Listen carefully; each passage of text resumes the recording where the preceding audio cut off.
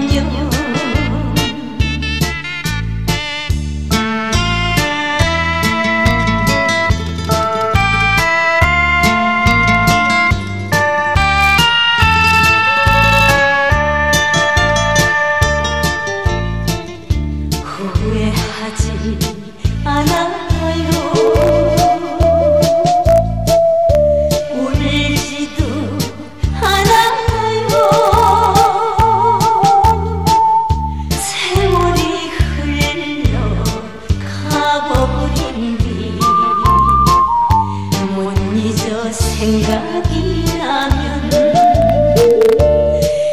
그때 빗속에 젖어